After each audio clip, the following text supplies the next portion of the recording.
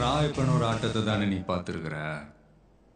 Michael ராயப்பனோட ஆட்டத்தை நீ பார்த்தது இல்லையே சும்மா.